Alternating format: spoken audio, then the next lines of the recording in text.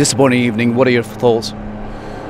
It's a disappointing result for us. It's a game that we, we fancied ourselves to get something from. Um, it was improved from Saturday's performance. Some of our play was good up until the, the final third, and then we, we couldn't find that little bit of quality to, to create enough chances. I think Nahki's had the one first half, uh, cleared off the line. Um, we have to take it on the chin. How do you kind of sort of, you talked before about not going on winning r- runs. How do you kind of stop that? Stick together, uh, keep fighting, no excuse policy. Just said to the players in there, we don't look for excuses now. Everybody knows that uh, it's a tough schedule for us. Uh, we keep going. We've got another game in three days. Um, we'll of course uh, look back at this game.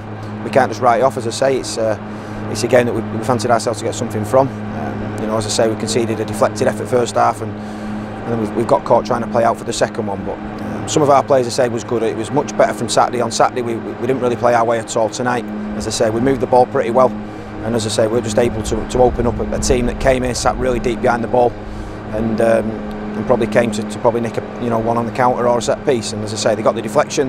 You know, this sat made it difficult for us. Um, we move on. Talk to us about the red card for Famara Diedhiou. He got a yellow, and did you think it was a second yellow? No, no he's, he's clearly got his eyes fixated on the ball. It's, no, it's not. No. So you're going to be without Fan for Friday. What about Tomas Kalas? How is he? We'll have to see. We're in tomorrow um, to get ourselves ready for Friday. We'll have to see. He looked like he, he took quite a nasty dead leg. So I mean, fingers crossed he's he's back with us for Friday because we, will be missing 10 and hopefully it's not going to be 11. So as I've just said in there, we stick together. We have to. It's, it's a little uh, tricky run that we're on at the minute.